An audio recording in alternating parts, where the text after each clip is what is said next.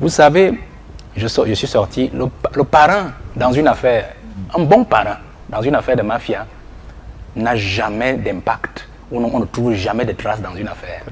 C'est comme ça. un parent donne des instructions par personne interposée.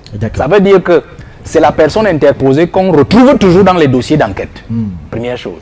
Deuxième chose, le parent est toujours le bénéficiaire du résultat de l'affaire. Mais on ne sait jamais s'il y a participé. Et nous sommes exactement dans ce, dans, ce scénario. Ça veut dire que si on veut savoir exactement qui est le commanditaire suprême politique de cette affaire, il faut savoir en dernier ressort à qui cela bénéficiait. D'accord, je reviens à vous. Et le maire l'a dit tout à l'heure. Hmm.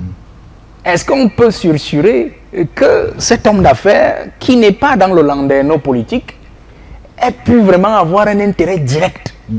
au résultat d'un crime d'État avec la machine de l'État?